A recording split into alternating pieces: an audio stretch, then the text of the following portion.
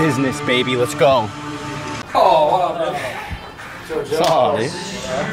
Chilling, baby. Yeah, that's all so slick. Yeah. It's the grime and sweat of greatness. Man, if I would have known too, I probably would have shaved. What do you think? Does the beard look good? Yeah? Oh, yeah. No!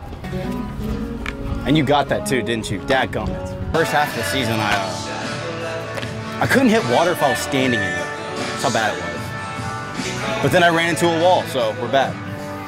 My singing, I know, is not A1. That's why I blast tunes, fully blasted in the car on the headphones. So when I do sing, I hear who I think I sound like, you know. If I could have any voice, though, any voice in the world, it'd be James Hetfield's voice. The lead singer of Metallica, like in his prime. Yeah! Glaze blocker. You could do like a comic if you're really good at editing. Every time I say glaze blocker, glaze blocker. Telling the, you know, the viewers that uh, you had a chance to win a game for the Montevallo. What are y'all? Falcons. Falcons. For the Falcons. And um, as a matter of fact, would you want to just take us through what happened in that AB?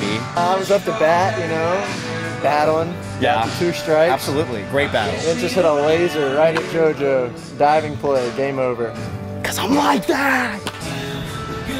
I'm going to catch four barrels.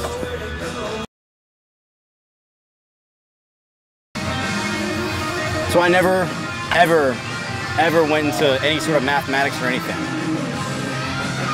I'm like, why are we trying to find X? She's not coming back. Nor do I want her to come back. You know what I'm saying? I'd rather move on to Y and just stay there. That's it for me being mic'd up during BP today. Um, excited to see y'all at seven for to come out and support the Flyboys. Um, might catch a little action during the game though me being mic'd up, so we'll see. But excited to see y'all tonight and yeah, go Flyboys.